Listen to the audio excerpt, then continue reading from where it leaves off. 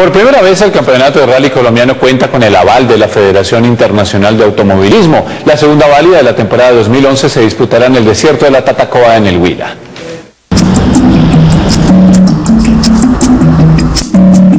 En el desierto de la Tatacoa, con 330 kilómetros de tierra gris y ubicado en Villavieja, Huila, se disputará este 29 y 30 de julio la segunda válida del rally colombiano.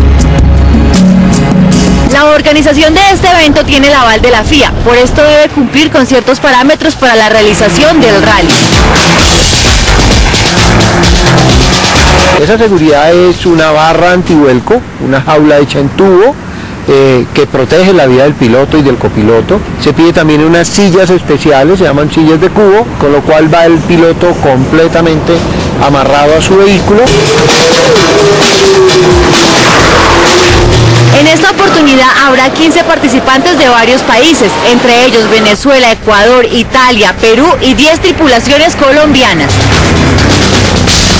Este rally es una competencia de velocidad sobre tierra que se cierra en tramos cronometrados y gana el que haga el menor tiempo posible. La realización del rally colombiano tiene un solo objetivo.